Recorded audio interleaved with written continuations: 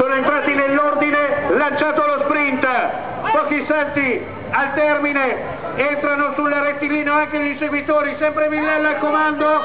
attenzione, esce Barbin, lanciato lo sprint e va a vincere il Gran Premio della Liberazione 2012, Enrico Barbin, Freddy Villella, terza affermazione stagionale per Barbin, quarto posto per Barbin.